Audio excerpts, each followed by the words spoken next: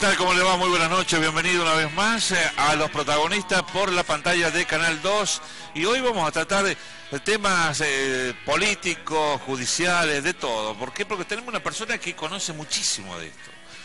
Eh, para mí uno de los mejores abogados que hay en la capital fiscal, siempre se lo he dicho. aparte es mi amigo particular, un amigazo. Estoy hablando del doctor Juan Carlos Pagoto, que le damos las muy buenas noches. Doctor, ¿cómo anda? El Rubio lo está saludando. Eh, hay un video donde dice que sos Rubio. No, no, por supuesto. Bueno, yo te agradezco los conceptos. Son propios de un amigo. Si yo soy uno de los mejores, ¿cómo serán los peores, no? Pero bueno, acá estamos. Vos preguntás que yo respondo. Perfecto, sí. No, eh, usted sabe que en la parte política hay muchas cosas para preguntar. ¿El mal de la Argentina es la parte económica o la parte política? Esto es eh, una vieja dicotomía que ha tomado vuelo eh, en la última mitad del siglo pasado y que cada vez se acentúa más de subordinar la política a la economía cuando es al revés, la economía es parte de la política. Y la prueba está de que la economía es parte de la política, que este, como estamos. Son procesos. Eh, en el proceso económico influyen las decisiones políticas. De acuerdo al signo político que se tiene, es la marcha de la economía o el sistema económico que se este, implanta en un determinado país en un determinado momento histórico.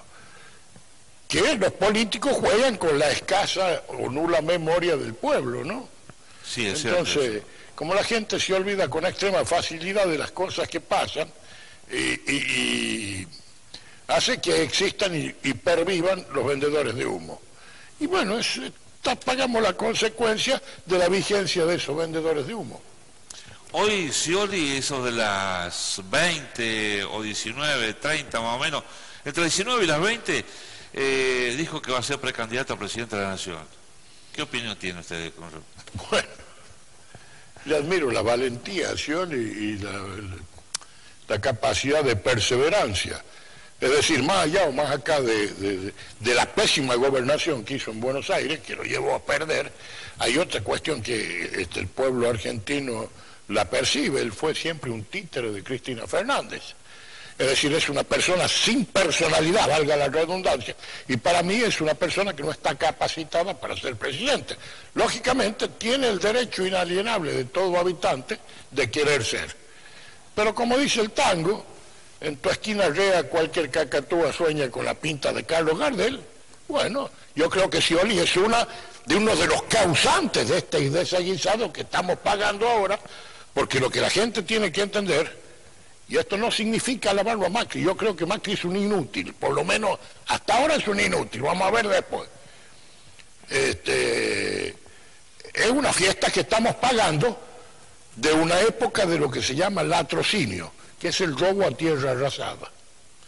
Esto es lo que hizo el kirchnerismo.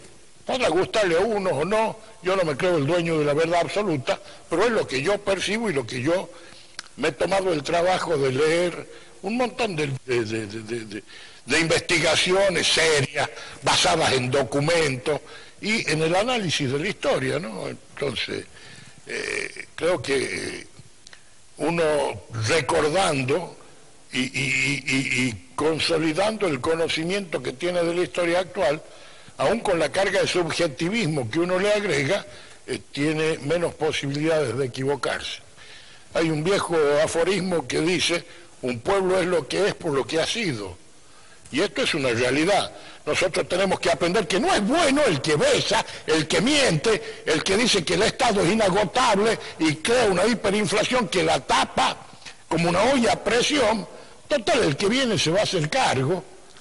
Y esto es una realidad que vivimos. El que llega le echa la culpa de todo a lo anterior. Y así hemos ido este, echándole la culpa a los gobiernos anteriores, sin que los que ejercen el poder demuestren que tienen capacidad de gestión. ¿Qué es lo que hace falta en la Argentina? Capacidad de gestión.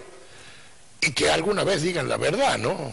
Porque esto de que eh, eh, son, por ejemplo, cuestiones inventadas o antojadizas, un montón de situaciones que se están, este, eh, que se están ventilando en esta época, es un problema de decirle a la gente, ustedes son unos estúpidos, y yo odio que me traten de estúpido.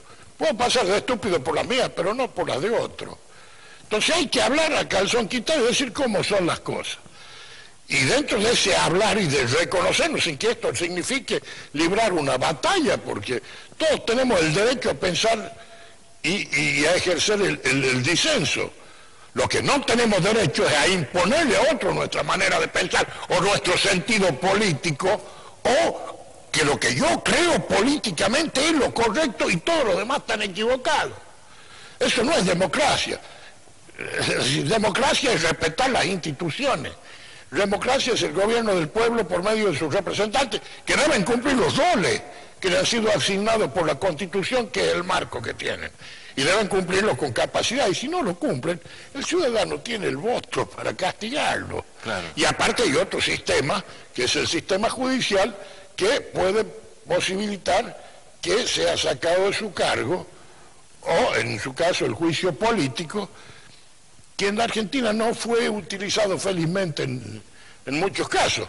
Pero bueno, son armas que da la, institucionalización de la democracia, que hay que aplicarlas con algo que un autor llama prudencia jurídica. Es decir, esta prudencia es lo que debe tener todo buen padre de familia. Ya estamos hartos de los desaforados, de los gritos. Yo particularmente estoy harto de escuchar las barbaridades que dice Eva de Bonafini, y que ningún fiscal de los que este, dicen ser defensores del sistema, de la democracia y del proceso penal, este, haya promovido acción. Y yo quiero, lo digo una vez más, el dueño de la acción penal es el Ministerio Público Fiscal. Son los que tienen que promover acción, no los jueces. Los jueces tienen en su momento que este, investigar según sea el sistema procesal vigente. Si es el acusatorio que se ha implementado ahora, que no sé cómo va a pagar Macri este, la implementación del nuevo Código Procesal Penal Nacional, este, investigará el fiscal y tendrá un juez de garantía que controlará que no se desmadre, porque la democracia se basa en un sistema de controles. Decía el general Perón, todo hombre es bueno, pero si se lo controla es mejor. Es mejor todavía.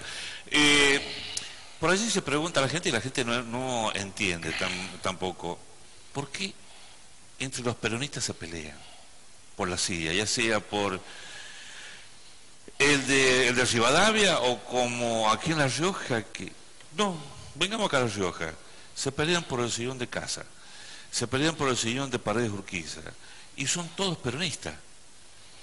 Eh, y se sacan los trapos al sol. ¿Por qué vos hiciste esto? ¿Por qué vos hiciste aquello? ¿Por qué vos hiciste lo otro? porque vos... Y vas a hacer más de lo mismo. Que Pero la gente no entiende, no comprende. Dice, ¿a quién votamos? Bueno, la gente tiene que empezar a comprender y a ver a quién va a votar. Por un sistema de que el voto es la expresión de la opinión de gente, de la, del, cuerpo electoral para eh, discernir un cargo constitucionalmente creado. Eh, el problema del peronismo es muy amplio.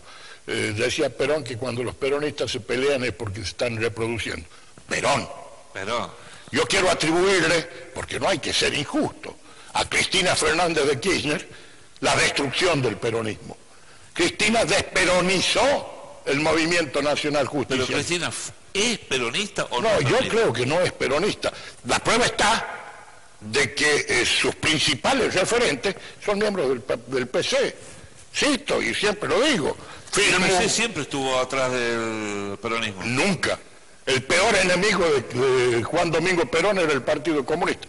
En las elecciones, donde es elegido por primera vez presidente en 1946, el Partido Comunista, de la mano de Vittorio Codovila, integró, eh, y de respeto, integró la Unión Democrática, junto con la Unión Cívica Radical y otros, que llevaban a los que ellos llaman oligarcas, a Patrón Costa como candidato a presidente. Y a partir de ahí el, PC siempre tuvo una subordinación hacia el PQS, que es el Partido Comunista de la Unión Soviética, y ahora, bueno, calculo que es Raúl Castro. Pero eh, Perón nunca, es más, en 1973, cuando se elige por amplia mayoría la fórmula Perón-Perón, Sergio Villarruel en una entrevista dice, general, hasta el comunismo votó por usted. Y Perón me dijo, yo no creo que hayan votado por mí. A los que tienen interés en saber más, pueden ver una, dramatización de una entrevista del general Perón con varios empresarios, que Juan, Castro creo que se llama el que lo personifica a Perón, que está basada textualmente en la versión taquigráfica de esa reunión. Se puede hallar en YouTube, en alguna de esas plataformas, donde Perón explica de que eh, cuáles son las bases del justicialismo. Y partimos de una base. El justicialismo eh, tiene una base de la doctrina social de la Iglesia, es católica y humanista. El marxismo es ateo, el PC es marxista, es absolutamente ateo. Esto, eh, Lenin decía que con la tripa del, último cura iban a, ahorcar el último de los generales y que la religión era el opio de los pueblos, decía Carlito Marx. Es decir, ellos tienen lo que se llama materialismo dialéctico, que es una interpretación de la doctrina hegeliana hecha por Carlos Marx y Friedrich Engels. Bueno, este, no tienen el valor de decir yo soy PC y yo me presento para que ustedes me voten y este es mi problema. No.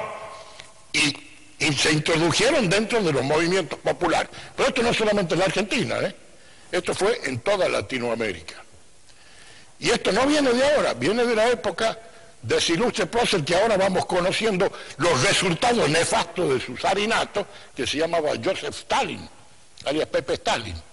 Yo recomiendo siempre un libro que se llama Fue Cuba, de, Juan Bautista Joffre, que es un libro pesado, arduo, pero tiene una documentación incontrastable. ¿Hay donde habla de la gallina cuando la despluma?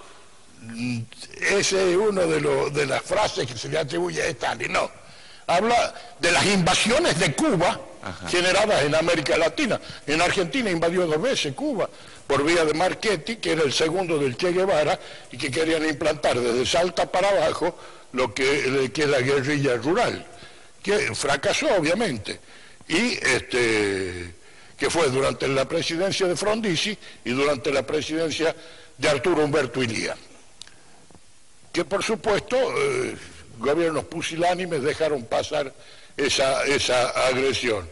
Y después su complemento, el soviet caribeño, que está escrito por, el hijo de un, de un dirigente castrista de, de, Cuba, y tiene el prólogo de, mi amigo el Tata Joffre. Eh, hay que leerlo. La documentación que tiene ahí ha sido sacada de Rusia, de Checoslovaquia, de todos lados donde ya marca el mandato de Stalin para hacer los frentes populares, que son, por eso Perón nunca hizo un frente con el Partido Comunista, sí con los socialistas populares, sí con los conservadores populares, con un montón de, otros partidos, pero nunca con el Partido Comunista ni con este, los partidos de extracción troquista. A tal punto que la gente debe recordar y que no recuerda puede, puede consultar, tiene hoy día un montón de, posibilidades de, conocer. Perón quería en su última presidencia que el vicepresidente sea Ricardo Balbín. Y si a alguien le queda duda, puede ver el discurso de despedida que hace Ricardo Balbín ante el féretro de Perón. Este viejo enemigo que hoy viene a despedir un amigo. Y habla de las viejas luchas que tanto le costaron a este país. Y fíjate, ¿no? Yo creo que el gran error del gorilaje argentino fue bajarlo a Frondizi, ¿no? Frondizi creo que fue un estadista brillante, pero en política exterior fue este, muy pusilánime, eh, tuvo entrevistas cuando todo el mundo estaba y sabía lo que estaba haciendo el régimen castrista de reunirse en un secreto a voces con, con el Che Guevara que había entrado con la cabeza afeitada. Bueno, en, Fue Cuba tiene toda los la documentación que utilizó y cómo se conseguía.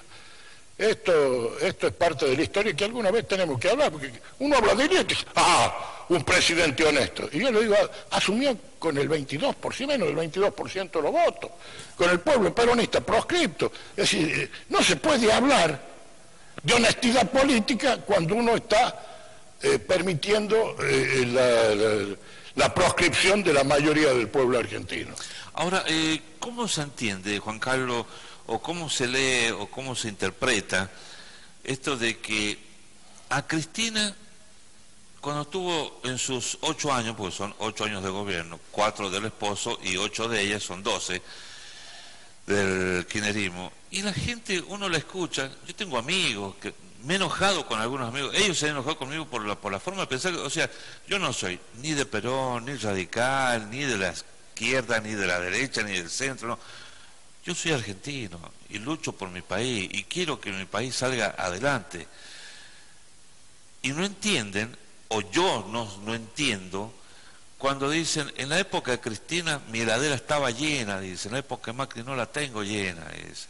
Este prometió eh, esto y estamos mal, pero en la época de Cristina, en los 12 años de los, de, de los Cádiz, hemos estado bien Dice, la heladera llena, íbamos al Mundial de Fútbol, y fuimos a la Copa América, eh, nos íbamos a Miami, eh, nos íbamos, no sé, a cualquier parte del mundo. Bueno, eso es una expresión relativa. Primero, eso de que estuvimos bien, no. Acá eh, tuvimos muchos años con viento de popa, o viento a favor, con las commodities y el precio de la soja estaba al doble de lo que está hoy día. Sí, es verdad. Es decir, y la gente se olvida que el imbécil de Lusto fue el autor de la, de la resolución 134 que subía las retenciones. Sin explicar, y esto hay que explicárselo a la gente, si esto vale 10 y yo tengo que pagar un impuesto del 15, pagaré 1,50. Si esto vale 50 y tengo que pagar un impuesto del 15, pagaré 15 pesos. Pero no, era tal la voracidad, ¿por qué? Por la necesidad de financiar el desbalanceo del gasto público. Y una de las peores consecuencias que trajo, y que lo estamos viviendo, lamentablemente, Macri, entre que es un inútil y está rodeado de inútiles, no hace, eh, no se publicitan bien. Por ejemplo, y esto nosotros lo vivimos, acá hay ciudadanos bolivianos que este, son eh, tienen asignaciones familiares, eh, jubilaciones, paraguayos ni hablemos, en Formosa, Misiones, toda esa zona, chilenos, bueno, Pinochet tenía desocupación cero porque nos tiró los desocupados a nosotros. Entonces, cada vez son menos los que pagan impuestos y más los que reciben un cheque del Estado porque le han hecho creer a la gente que el Estado es un cuerno de la abundancia donde uno puede meter la mano, sacar y repartir sin necesidad de volverlo a llenar. Entonces yo escucho, por ejemplo, la descerebrada de la Victoria Donda que dice que no se puede este, quitar esto, no se puede quitar otro. No, yo creo que debe hacerse un uso racional. Uno debe repartir lo que tiene, no lo que no tiene. Y le pongo un ejemplo. Cuando asume Macri había 15, 20 barcos gasificadores. ¿Por qué? Porque nosotros, que somos un país gasífero, hemos dejado de producir gas. Porque esa plata se la repartía para mantenerse en una perpetuidad política que había pensado Néstor Kirchner. Y como dice mi amigo Jorge así, tuvo este, el desatino de morirse. Hay un libro de Seferino Reato que se llama Salvo que me muera antes, que desmistifica el tema de la muerte de, de Kirchner, de que lo han matado. No, verdaderamente, eh, de acuerdo a las pruebas que, hay en ese libro, documentación indubitable, murió de muerte natural. Sí. Pero él había programado, y se llama Salvo que me muera antes, era que después de los ocho años de Cristina volvía a él. Ahora, ¿qué hacíamos? Para que el señor de guía, para que el, impresentable este de Quebracho y varios otros hagan negocio con Irán, le comprábamos gas a Irán y hemos, hemos tenido una dependencia energética. Y un país como el nuestro no puede depender energéticamente de un país periférico como Irán. A uno les parecerá espectacular el régimen de Irán porque no se han ido a vivir allá, no lo conocen en profundidad. Pero aparte Irán está probado que produjo actos de guerra en el territorio argentino. La embajada de Israel y, la, AMIA son de ahí. Ahora, uno puede tener simpatía o no, ser prosemita o antisemita, pero eso no implica que en el territorio argentino hubo un acto de guerra. Y ese acto de guerra, el que lo provoca, es un enemigo. Y esto lo contempla la Constitución, no estoy diciendo nada que no esté contemplado en la Constitución Nacional. Ahora, que haya tipos que aplaudan eso, diciendo que son patriotas, me parece que tenemos que revisar el concepto moral de patriotismo. Claro. Yo la otra vez publiqué yo en, una página de un grupo de amigos la historia de por qué son seis los granaderos que custodian la tumba de San Martín. En realidad el cuerpo de granaderos de caballo después de la guerra de la independencia ya retornaron a Buenos Aires, todos andrajosos, este, en un estado lamentable y el cuerpo fue eh, disuelto. El que lo vuelve a crear es Roca. Pero cuando repatrian los restos de San Martín, los últimos seis sobrevivientes, en lo que quedaba de uniforme, lo van a, recibir y montan guardia durante todas las exequias hasta que lo instalan en la Catedral de Buenos Aires. Por eso son seis los granaderos. Me contestó una, amiga diciendo que ella no estaba de acuerdo con la política de Roca. Yo puedo estar o no de acuerdo con la política de Roca. Gracias a Roca, la Patagonia no es chilena. Vamos a partir de esa base. Uno puede estar de acuerdo o no como actor, pero ¿y qué tiene que ver San Martín? San Martín fue un genio militar. Ahora se discute si era hijo de una india, ¿no? De donde haya sido, venga de donde haya venido genéticamente, ha sido un genio. Es más, sus batallas son objeto de estudio en todas las academias militares del mundo. Ahora, como está en duda poner todo lo que no sea proclive a la simpatía de, un sector ideológico de la sociedad es malo. No. En Francia todavía hay napoleonistas y antinapoleonistas, pero Napoleón tiene en Plaza Vendôme su monumento. ¿Y quién va a negar que gracias a Napoleón la revolución francesa se irradió en toda Europa? Y fíjense, terminó convirtiéndose en emperador. El derecho civil fue de, los romanos fue codificado brillantemente en lo que se llama Código Napoleónico, que hasta el día de hoy es lo que marca todos los códigos del, mundo occidental. Y el único país que tiene eh, ese tipo de derecho civil eh, tributario del Código Napoleónico y del derecho romano es Alemania. A lo cual van todos a abrevar ahí en Alemania, sobre todo en derecho penal y malinterpretan algunos autores alemanes este, para echar agua ideológicamente para su colecto.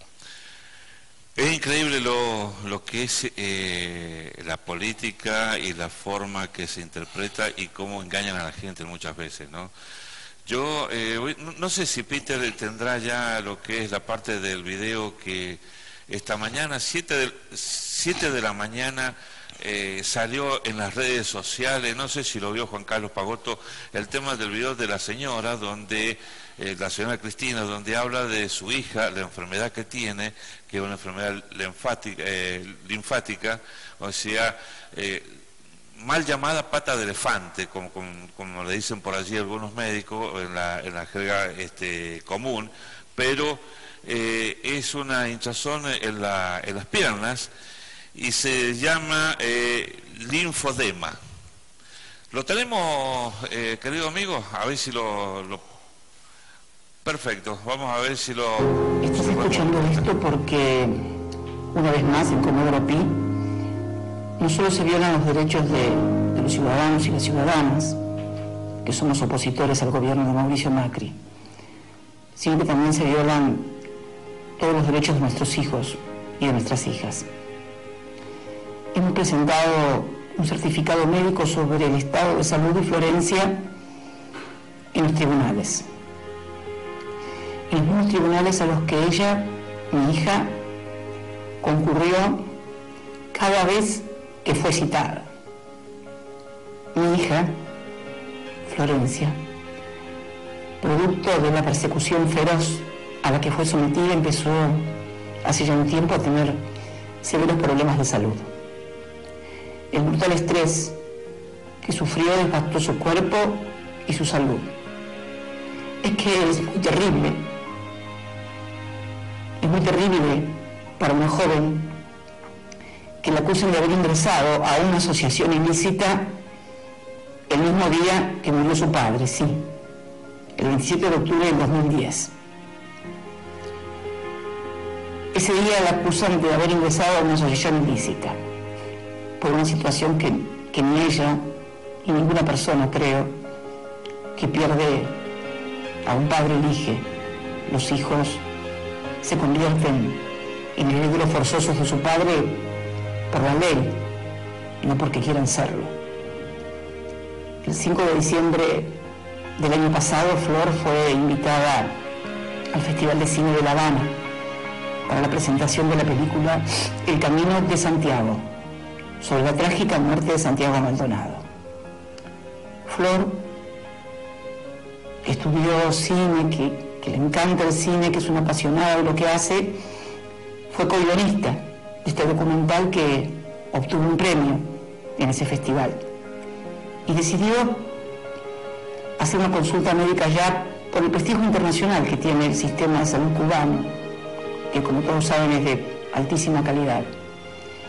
Allí la revisaron y le indicaron que debía comenzar un tratamiento.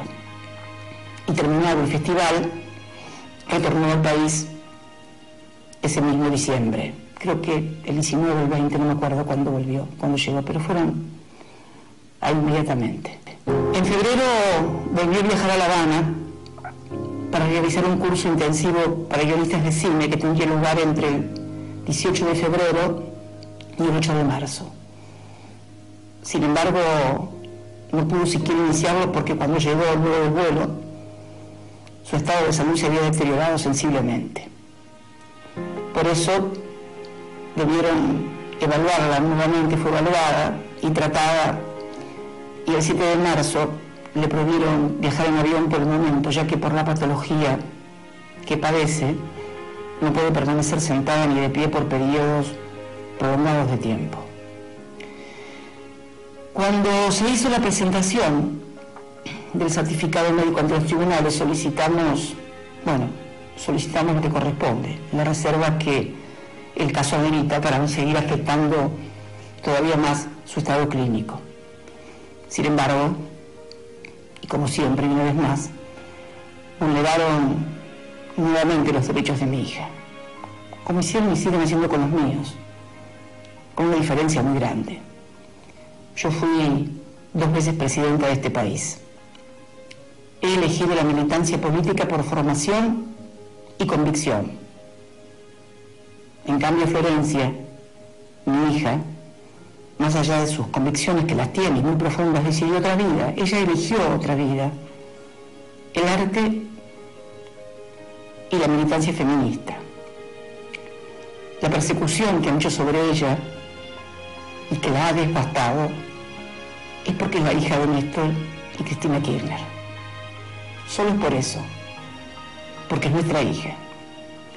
Por eso le pido a los que nos odian o que nos ven como enemigos que por favor, que por favor se metan conmigo, pero no con ella. No más con ella, por favor. Bueno, Ahí está parte de, este video que lo, subieron a las redes sociales en el momento más crítico o en el momento donde la gente en Buenos Aires toma el subte, en Buenos Aires está tomando el colectivo, eh, o van a la escuela y van con el teléfono, y porque hoy podemos ver eh, eh, estos videos tranquilamente en un teléfono, tranquilamente. Este, siete de la mañana 7, 7 y cuarto más o menos, subieron este video. Para que la gente comience a ver qué es lo que pasa y qué es lo que sucede con esta niña. ¿no? Eh, médicos especialistas en este tema que yo he consultado y, médicos a nivel nacional que ya salieron a hablar de un estrés no se le pueden hinchar las piernas. Bueno, yo no lo había visto porque estoy ocupado en una audiencia y habitualmente paso de largo muchas de estas cosas. Hago ese mea culpa porque si me pongo a ver todo no tengo tiempo de trabajar y si no trabajo tengo demasiadas cargas a los hombros este, que me pechan. Pero yo recién escuchándolo está perfectamente recitado, quiere decir que tenía un, este, un guion preconstituido, dirigido con palabras justas para causar un impacto. Ahora, yo le pregunto a la señora Cristina Fernández si el gobierno de ella no persiguió. Era pecado ser opositor. Cuando un alumno en Harvard la, ah, me acuerdo. la, contradijo, inmediatamente le llegó la AFIP de la mano del delincuente y proces, multiprocesado Ricardo Echegaray, porque era en la policía secreta. Aunque Parrilli diga que no, Parrilli alguna vez tendrá que ser estudiado por un entomólogo. Está perfectamente direccionado a generar lástima. Lástima que ella no le tuvo al pueblo argentino. Llego a decir que la diabetes era una enfermedad de rico. Ah. Llego a decir que la soja era un yuyito, el yuyito que le posibilitó que la soja que costaba eh, fortuna, dilapidara el capital de los argentinos ampliando el, el gasto público y que, qué casualidad, que cada vez que hay algún problema se enferma alguien, aparece algún nieto, y acá la causa de los cuadernos ha tenido hasta acá prueba independiente de la declaración y de otro tipo de documentación. A ver, lo que hemos vivido, la época de Kirchner, eso de que íbamos a, todos lados, es relativo, teníamos un cepo cambiario. Al único lado donde se podía ir y comprar dólares más o menos ilimitadamente era cuando uno iba a Cuba y con la agencia determinada por el, este, el gobierno cubano. Un día le pregunto a un amigo de ultra izquierda, che, le digo, ¿por qué se caído el muro de Berlín? Me dijo, ser comunista todavía es negocio, o ser de izquierda y de ultra izquierda todavía es negocio. Cristina vulneró todo, todo derecho, avasalló la constitución, avasalló, avasalló a todo el mundo, y ahora viene a generar lástima, porque la Argentina, el pueblo argentino es piadoso. Este, murió el marido y de y, por lástima ganó con un 54% mentiroso porque fue el porcentaje de votos en blanco y de abstención de votar más grande de la historia en ese momento. Pero bueno, la aplaudieron, llegó y destruyó el país. Y esto hay que decirlo. porque hay que ocultar las cosas que son? Las cosas son como han sido y deben eh, analizarse objetivamente. Ahora yo le pregunto, los millones de dólares que tenía su hija haciendo una comparación con el sueldo del presidente de los Estados Unidos, este, Trump o Obama o, Jimmy Carter o Bill Clinton, tendrían que haber sido 30 años presidente para juntar semejante fortuna. Ahora, Está bien que ella diga que es una abogada exitosa. Yo nunca, y llevo 46 años en este ejercicio, conozco a casi todos los abogados exitosos de este país, nunca he sabido que ella haya sido abogada exitosa. Sí he sabido que con el marido, y no ella, el marido, este, se enriquecieron por la circular 1050, que los viejos tendrán memoria de lo que produjo esa, esa circular, este, la circular del Banco Central por la cual... Este, eh, prácticamente se, terminó de destruir la economía eh, debido a la inutilidad de los militares. El tema es de que ya basta. Yo quiero escuchar alguna propuesta de esta señora, que haya hecho una propuesta. A ver, la asignación universal por hijo resulta que ha sido un proyecto de la Lilita Carrió. Pero este es el de atribuirse méritos ajenos. Pero si yo lo escucho a Rossi, que le recomendaría que vuelva al PC de donde viene. Hay documentación que prueba eso. Las cosas que eh, se descubrieron en el Ministerio de Defensa. Qué casualidad, les gustaba el cine y se fueron al Festival de Cannes. Que el sueño de mi vida ir al Festival de Cannes, ¿no? Por la duda este, eh, aparezca rejuvenecida Brigitte Bardot. Pero tenían plata y gastaban plata a roleta en cosas que no tenían que ver con el Ministerio de Defensa.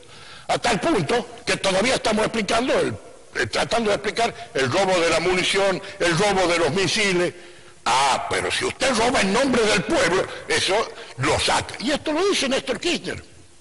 Y está en el libro, este, salvo que me muera antes, y yo ya lo había escuchado antes, eh, una vez que estuve en una conversación que yo era periférico con Ramón Puerta, que le dice, che, nosotros éramos los gobernadores preferidos de Caballo, ¿qué te pasa que estás muy a la izquierda?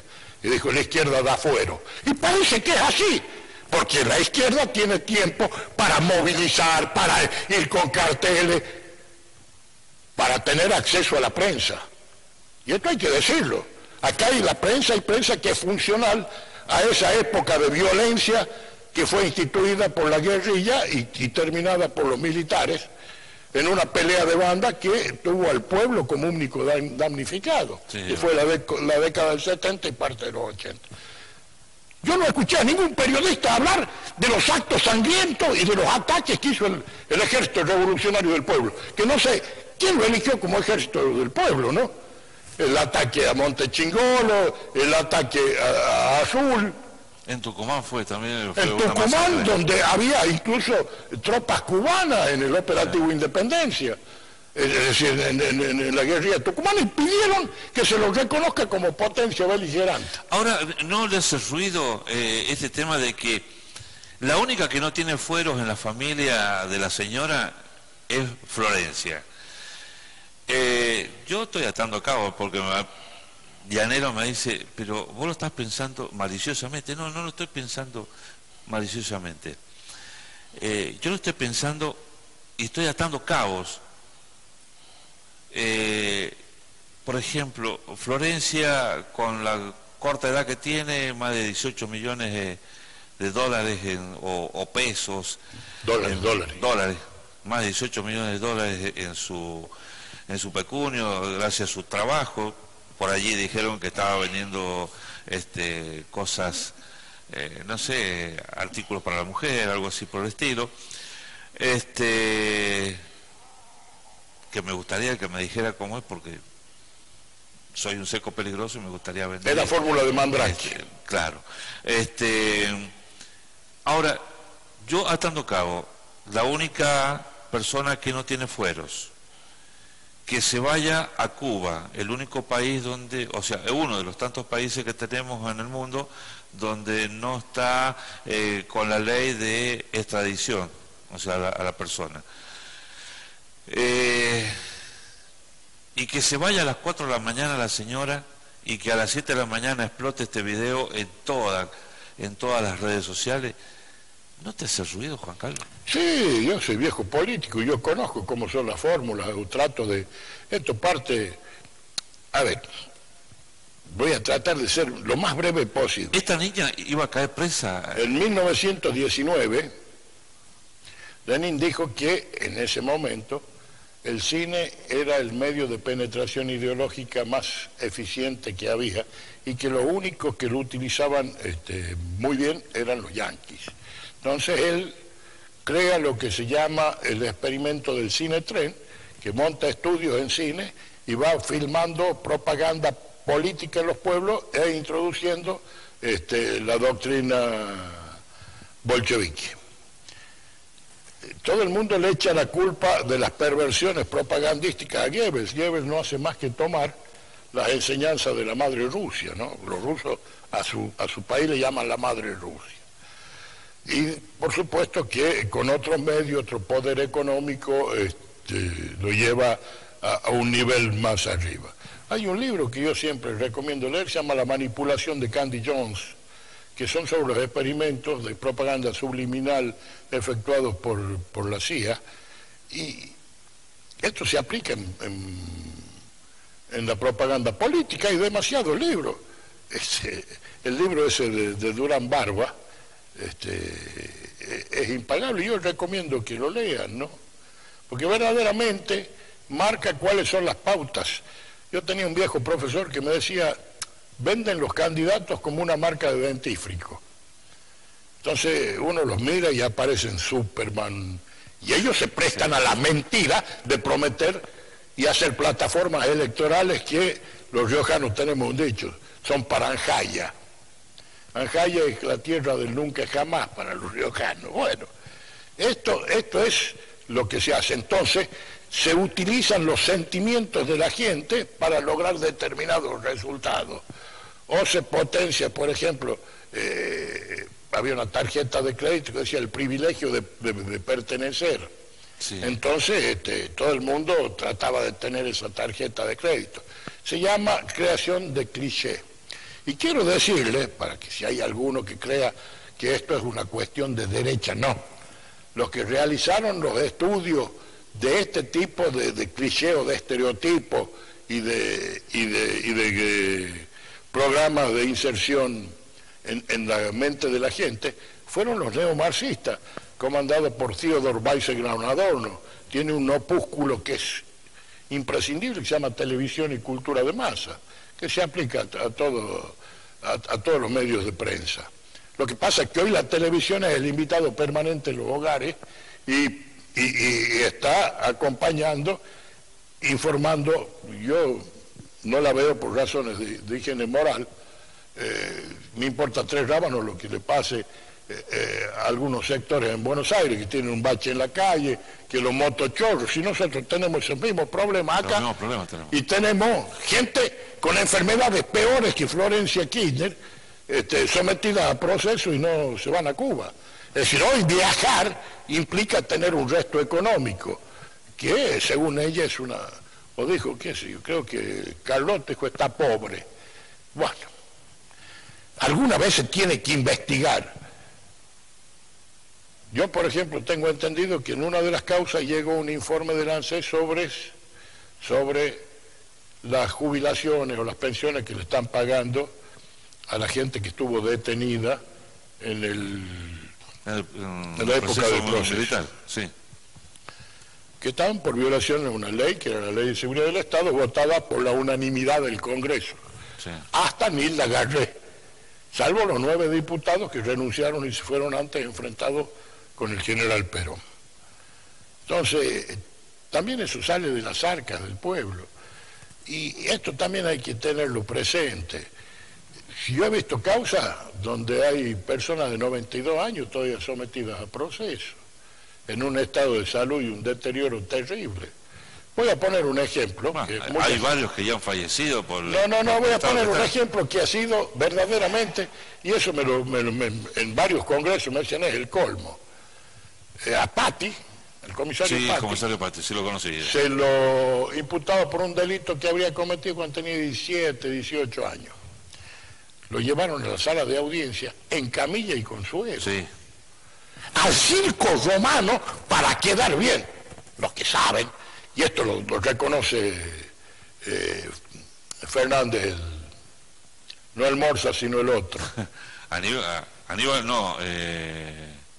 El que fue jefe de gabinete sí. de, sí, sí. Que que él estuvo presente cuando le ofrece el cargo de la Suprema Corte a los que nombró. Y le dijo, no lo voy a molestar, pero esto es política de Estado. Y puso derecho humano, esto, esto, esto que quiero repetir, los derechos humanos son para todos, no son para un sector ideológico, son para todos los habitantes. Entonces el secretario de Derechos Humanos tiene que ocuparse de los derechos humanos del que le falta la luz, del que le falta el agua, del que le falta los núcleos sanitarios, porque eso hace a la dignidad humana. Hay un trabajo del doctor Garzón Valdés que dice ¿Quién puede discernir que una dignidad sea mayor que otra? Victoria Donda. Dijo que una vida, una vida vale más que otra y que sus padres mataban con respeto. Como si una muerte fuera aplaudible. Bueno, eh, para, para fomentar un circo. A mí no me sorprende. Hay testigos que han ido a clases de teatro para declarar. No me sorprende lo que hace Cristina Fernández de Kirchner. Lo que sí me sorprende es que siga diciéndose peronista. Ella lo destruyó el peronismo. Ahora, pero hay que, hay que ser, eh, o sea, yo como papá, eh, yo, no, yo nos pondría a mi hijo en la forma que lo, que lo está exponiendo, o sea, eh, librarse de, lo que está, de, ponerle 18 millones de dólares a mi hija que, sí que nunca trabajó y, y decir que está enferma en esta situación Supongamos que está enferma, pero no es una enferma, no es una enfermedad de gravedad. ¿Cuántas personas tenemos acá en el Roca que caminan y toman el colectivo, o andan en moto, o, los va a ver en el centro, o van a trabajar y, tienen las penas hinchadas? Bueno, me gustaría decir, eh, don Vicente León y Asado un día decía en un asado, que el último acto de un político es su propio entierro, porque hasta eso es un acto político. Esa es la desaprensión de que todo está justificado en pro de una determinada ideología o de, un determinado, de una determinada manera de ejercer el poder. Y esto tiene que ver, porque tenemos que entender nosotros que la Constitución y la ley se han ido imponiendo para encerrar, encorsetar ese poder que antes era omnívodo. Con la época de los reyes, hasta que se dicta la Carta Magna en, Inglaterra, que sirve de base a todas las constituciones modernas, eh, eh, se pone un coto al poder ilimitado del Yo siempre digo, y esto no lo digo yo, lo dice todo el mundo, el, poder, el derecho penal es el límite al poder omnímodo del, del es decir, del poder que tiene el Estado de castigar. Y marca los límites. Eso y el artículo 19 de la Constitución, que algunos llaman principio de reserva y otros, y yo estoy de acuerdo con estos otros, le llaman el principio de la, libertad. Ningún ciudadano está obligado a hacer lo que la ley no manda, ni de hacer lo que la ley no prohíbe, o de hacer lo que la ley no prohíbe. Esto es el principio es la base de la convivencia. Esto es lo que el general Perón dijo en la comunidad organizada. Cada uno se tiene que realizar realizando la comunidad y es una, constante, eh, un constante intercambio entre la persona y la comunidad. Esto es lo que tenemos que aprender los argentinos, que el que piensa distinto no es un enemigo y que el poder tiene límite. Esto es la realidad. Claro, lo que pasa es que en Argentina hicieron un River Boca, creen que sigue siendo eh, Boca, o sea, o soy del River o soy de Boca, pero siempre se, eh, enfrentan. Ya vamos a opinar sobre, o sea, usted va a opinar porque yo lo voy a preguntar a un político y aparte este, un, un, abogado que pasó inclusive también por la Casa de las Leyes, que no fue diputado. Entonces quiero ver su ojo clínico con respecto a, los, a la política riojana el caso del gobernador Casa, si le dicen que no, eh, los futuros candidatos que por allí para intendente, para viceintendente, ya están saliendo todos en estos momentos, las nuevas fórmulas, el decano de la, de la universidad también, que quiere, para el cargo que ustedes quieran yo estoy, dijo, ¿no? Este, pero tengo que cumplir con la pauta comercial, querido amigo. Me encanta charlar con vos. Me encanta charlar con vos. Y bueno, escuchemos la pauta. Escuchemos la pauta comercial, cumplimos con nuestros anunciantes y ya volvemos para el final. Fíjese, me pasé, me pasé todo, de, porque me encanta hablar con él. Pausa y ya volvemos.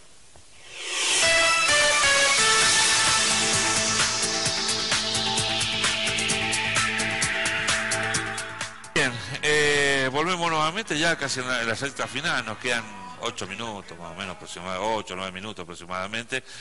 Y, queremos que con su ojo crítico y, como conociéndolo a Juan Carlos Pagoto de lo que habla, y cuando habla, habla con... No le hace falta tener papeles en la mano. Yo sí tengo que tener los papeles en la mano porque no tengo la experiencia que él tiene, ¿no? Este, todos los candidatos, más, ahora que recuerdo, me invitaron la vez pasada a una reunión para uno que es político, que fue vicegobernador, fue ministro de Educación. Es la única parte que, le voy a aplaudir, como ministro de Educación, que hizo trabajar en la época de vacaciones y cuando fueron a clase, las escuelas estaban listas y preparadas con vidrio, con pupitres, con bancos nuevos, sillas, todo, todo, o sea, estaban perfectas la escuela.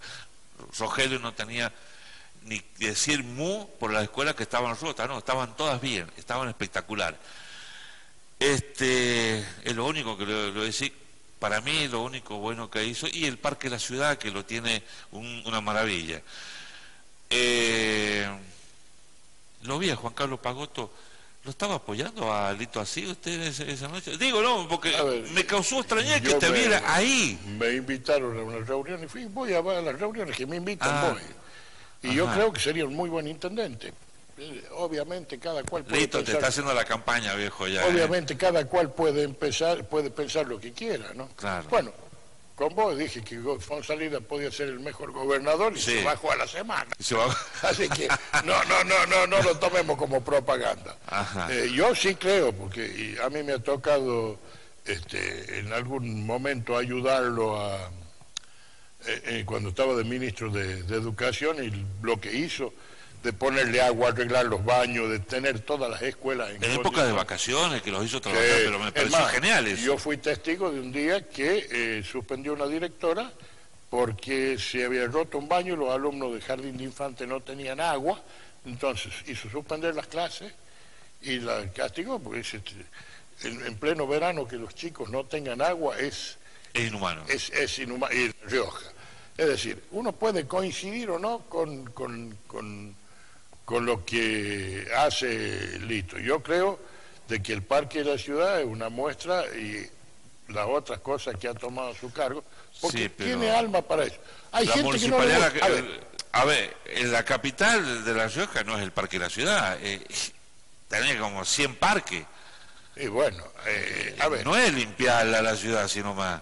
Y tendrá que, tendrá, tendremos que aprender que debe limpiarse la ciudad yo quiero recordarles que durante mi carrera política el enfrentamiento más grande que tuve yo fue con Lito Así, eh, eh, después del Río Janazo. Eh, así que llega una edad en que uno ya, dijera, pero ya tengo el cuero de elefante, ya llego descarnado y... A mí me gusta la obra que ha hecho Lito. Puedo coincidir o no con él en un montón de otras cosas yo hablo de cómo se administra. De todas maneras, a mí me gustan también muchas de las cosas que hizo eh, Pared de Urquiza, muchas de las cosas que en su momento hizo Quintela. Hay otras cosas que no se han hecho y que van produciendo el deterioro de esta ciudad que, con los fondos que tenemos, debería ser un jardín. Pero no solamente esta ciudad, todas las ciudades del interior deberían ser un jardín. La gente, a ver, acá hay siempre una superposición de competencias. El que es intendente quiere tener escuela, este, salud municipal y no es así. Se dispersan los esfuerzos, entonces tiene que tener, tienen que respetarse las competencias. ¿Por qué? Porque la necesidad de crear cargos, y esto ya viene desde la época de Maquiavelo, que fue el fundador de la ciencia política, que decía que había que repartir cargos para tener a todos conformes. Entonces han ido creando estructuras que se superponen unos con otros y este, eso va en detrimento de, la población en general.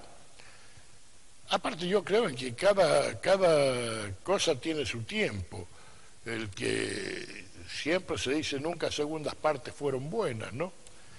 Entonces hay que permitir que otro siga construyendo y el que viene tiene que aprender que no todo lo que hizo el anterior está mal. Lo que está bien tiene que mantenerlo y perfeccionarlo si puede, y lo que está mal tiene que tratar de corregirlo. Ahora, eh, vio esta carrera política porque ya no, nos queda poco tiempo eh, para llegar, para ir a, sufragar. ¿Cómo ve esta alianza entre el rector de la universidad y Rogelio de Leonardo? No me sorprende. De ninguna manera me sorprende yo creo que el nivel de la universidad, esto ya lo dije eh, en un reportaje que me hicieron precisamente el día del abogado en, un medio radial, si el Independiente, la radio Independiente.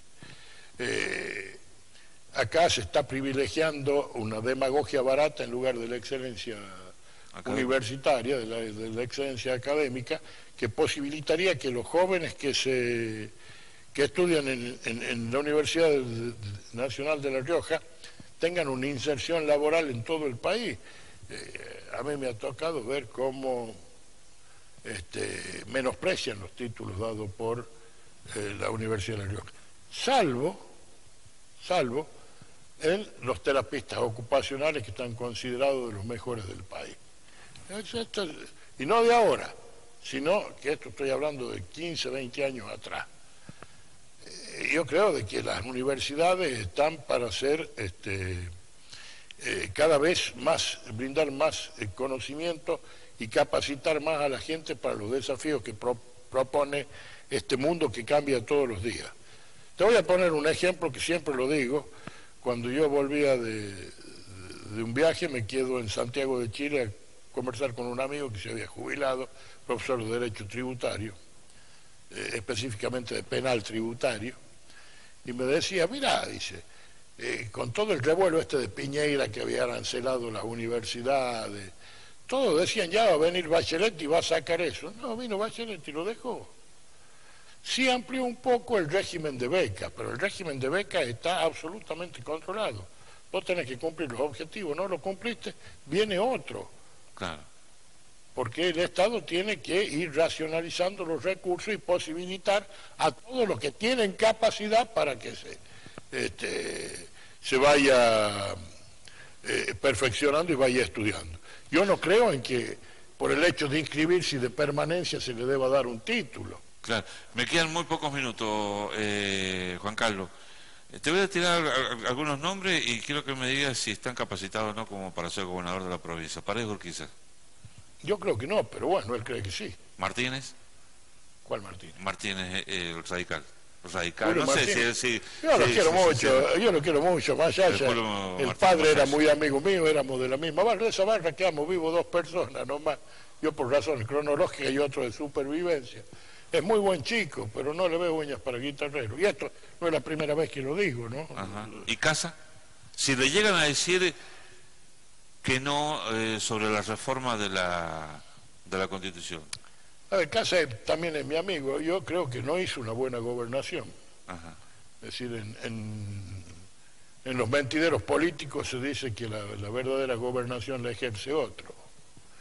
Yo creo que la gente tiene que merituar yo creo que no hizo un buen gobierno, pero bueno. Para intendente me dijiste, eh, Lito, así. Eh, es uno de los candidatos. Es uno de los candidatos y por ahí dice que eh, el actual intendente se va a reelegir nuevamente. Es lo que se dice, no se sabe, todavía no está decidido. O si no, Bricerio Doria. Yo no la votaría, Dine Bricerio Doria. Si hay otro que la votan, el problema. Yo tengo mis serias reservas eh, sobre su actuación, pero este, no es de mi partido, no, no, no, no, no tengo... Pero suponete que fuera buena, ¿la votarías? Que no fuera de tu partido, ¿la votaría la persona? Eh, por supuesto. Ah, bien. Y, siendo, y, cumpliendo con las directivas de, de una de las 20 verdades peronistas. Primero la patria, después el movimiento y por último los hombres. Juan Carlos, ha sido un placer enorme, como siempre, cada vez que te he invitado. Me he deburzado un montón a mí, eh, que a mí me falta mucho, muchísimo para aprender, a pesar de los años que tengo. Eh, me falta muchísimo. Y es un placer estar con vos y que seas mi amigo. Muchísimas gracias. Pero muchas gracias a vos. Y todo, yo, yo vivo aprendiendo. Yo no me conozco, no me, no me creo que me la sea toda. Yo vivo estudiando, vivo aprendiendo y la vida enseña mucho. La mejor maestra de la gente es la vida. La verdad que sí. ¿eh? Muchísimas gracias. Juan Carlos. Bueno, hemos llegado al final del programa de los protagonistas, le hemos pasado porque me encanta hablar con este hombre. Realmente es un libro abierto, el libro gordo de Petete, este no, este es el libro gordo de Pagoto. ¿eh? Este, un saludo a todos mis compañeros que hacen posible, que me acompañan hasta esta hora, a los muchachos que trabajan en las cámaras, eh, a, Peter Drogo, a todos, a todos, y, y, a ustedes más precisamente. La semana que viene prepárense porque vamos a hablar del corazón va a venir un cardiólogo. Vamos a presentar operaciones este, que él ha realizado y, y cómo tenemos que curar y cómo tenemos que cuidarlo al corazón. Motor fundamental y principal para la vida del ser humano. ¿eh? Así que eh, la semana que viene vamos a, comenzar con un cardiólogo para que vean cómo tienen qué es lo que tienen que comer, cómo se tienen que cuidar este, y todas estas cosas que por allí a mí también me interesa. Entonces, la invitación está hecha para la próxima semana, el martes de la semana que viene, volvemos nuevamente con los protagonistas. Hasta entonces. Y si ven algo parecido a esto, es una mala copia. Chao, hasta el martes.